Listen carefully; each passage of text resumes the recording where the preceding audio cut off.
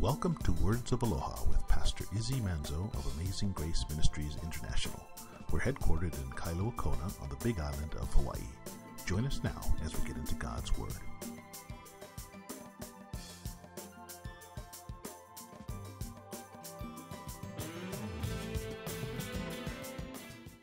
Father in heaven, we thank you for a beautiful day. We thank you for the clear air here in Kona. And we thank you for that beautiful place uh, that we've given us to gather together to worship you. And now, Lord, as we open your word, we pray that you use Pastor Izzy to speak to each one of us, Lord, to encourage us. Lord, we need encouragement. Mm-hmm. And we pray, Lord, that you do that now, Lord. Have your way with us. You are the creator, you are the, the potter, Lord. Let us be clay in your hands. We ask that now in Jesus' name. And all God's people said, Amen. Amen.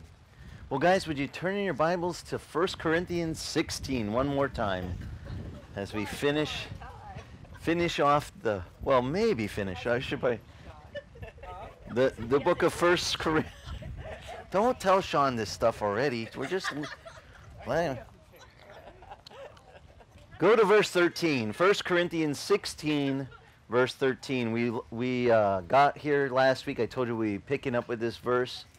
Paul's ending words to the church at Corinth. Now, for those of you that haven't been with us studying the book of of, of Corinthians, just to give you a quick uh, recap, the the believers in Corinth lived in a in an area of that time of the world that was um, kind of like the Las Vegas of the ancient world. Corinth was uh, one of those kind of like the port city where the sailors come and blow their paycheck, and um, the commerce was very um, big. You know, they had a lot of uh, influence from people coming and going.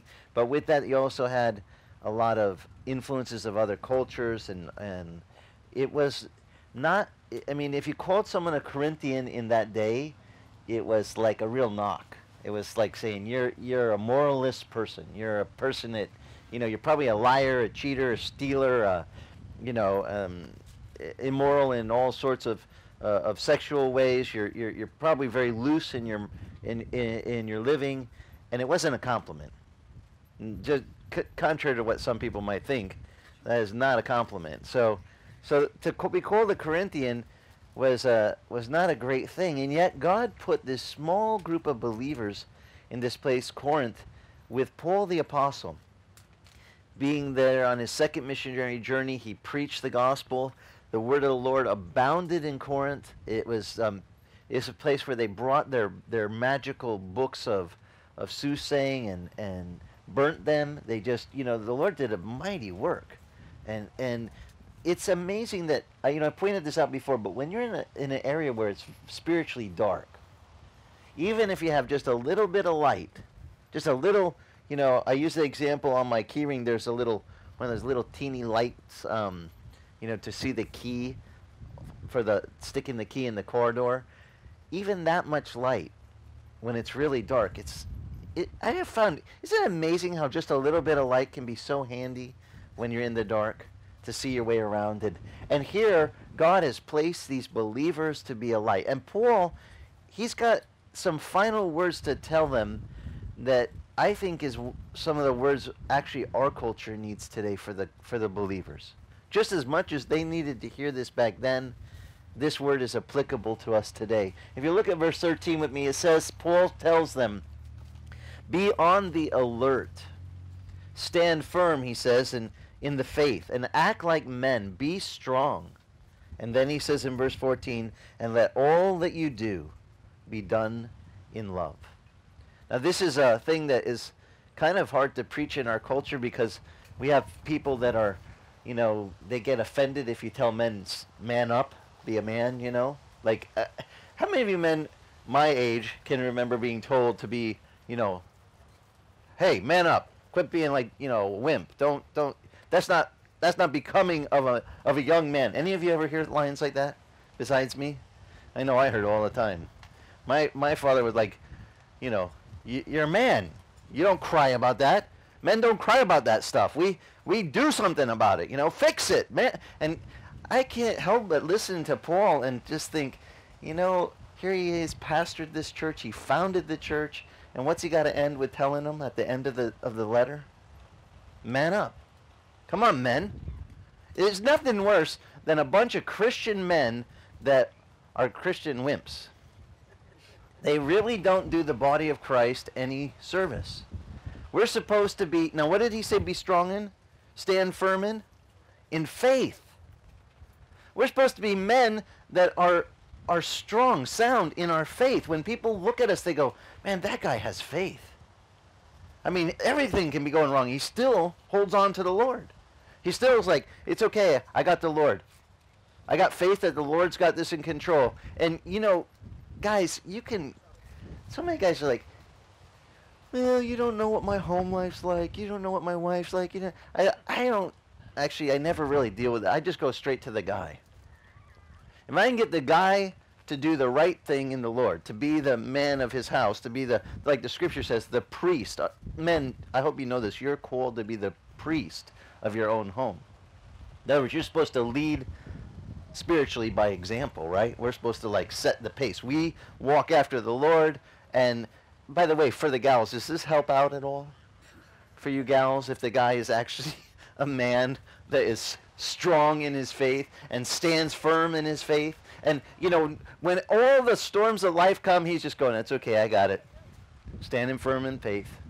I got, the Lord's got us. You know, for, listen, guys, if you want to help bless your wife, you need to learn to do this. This is so important. And, and I think, honestly, I think a lot of marriages can be so quickly strengthened if I just get, if I could just spiritually Gibbs slap the guys in the back of the head. Pack, wake up. Straighten up. Be a man, be a man of faith. Stand firm in your faith. Quit, quit. Now, now, what's the option? What's the option to standing firm in faith? What, being all noodly legged?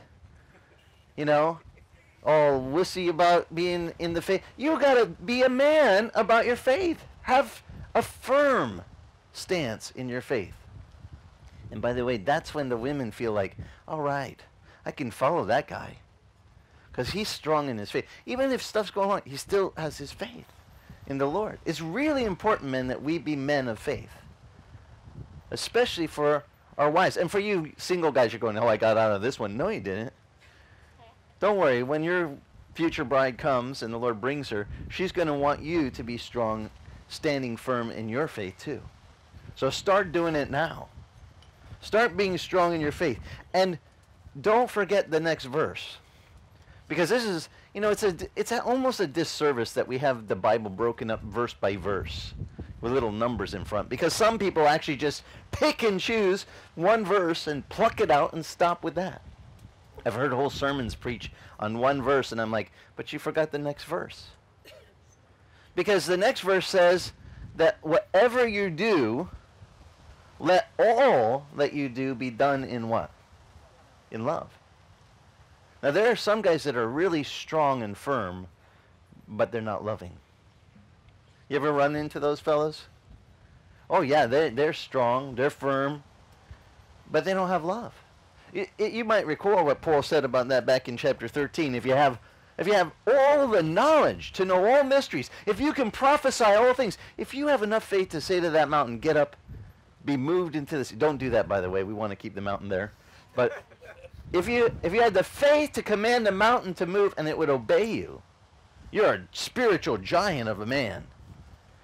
But the Bible says, but if you don't have love, what did Paul say? You're nothing. You're a noisy gong, a clanging cymbal. You're a stinking noisemaker. That's all you are if you try to do anything, even spiritual things, without love. You ever seen, I mean, we've been serving the homeless in, in, in, in, our community breakfast for, I don't know how long we've been doing this. 20 plus years, say. Okay, a long time. And, uh, you know, we always welcome people who say, hey, I'd like to help, you know, in the serving of the food. Sure, here. You put them behind one of the the dishes, you know, here, you, you serve the casserole or you serve the rice, you serve whatever. And, and when you're serving, there was a season when we had these Korean believers that joined us from YWAM. Remember Joe, Pastor Joe, and this whole contingent Korean con, Korean contingent that showed up for church, and they would come like early and start praying, and then their English not so good, But when they went to serve the food, they would serve the food with such love. They would be like giving the food in love, just here. Jesus loves you. And they, they, they I mean, and the way they did it, I mean, it just puts a shame. So, because I had some helpers that go, yeah, I'll help. And they're like, here, take that. you know, stupid. I hate doing this, you know. That race won't come off the paddle. You know, and they're they're I'm like that isn't working for God. He's not really interested in your service if you're not doing it in love. It says, let all that you do be done in love. Not just a few things, everything. And there's not, it doesn't make for a good, strong man of faith that's standing firm in his faith, that is being a man for the Lord, to be a man without love. I remember years back there was these t-shirts that came out, real men love Jesus. You know? And on the back some of them put, and others. I was like, that's a good shirt. Because what's the greatest command when Jesus was tested by the Pharisee? He said, first thing, love God. All your heart, all your mind, all your soul, and all your strength. And the second is like unto the first, love your what? Your neighbor as yourself. You got to have love. So Paul, in wrapping up the letter to the church at Corinth, he's got a, it's a strong word. But see, he can, he can tell these guys because he led probably a lot of them to the Lord. He taught a lot of them about the Lord. He spent time helping them to grow in their knowledge of the scriptures. But some reason, he has to throw this in at the end. You got to act with love. You've got to. Don't forget this. Mahalo for joining us. If you'd like more information about us, go to our website, amazinggracekona.com, and click the link to follow us on Facebook. That's amazinggracekona.com. Mahalo and God bless.